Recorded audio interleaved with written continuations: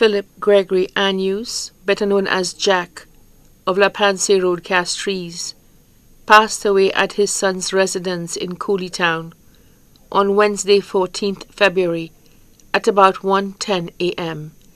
He was 82 years old. The funeral arrangements for the late Philip Gregory Anius, better known as Jack, will be announced in a subsequent broadcast. The body now lies at Rambali's funeral parlor, Calvary Road, Castries.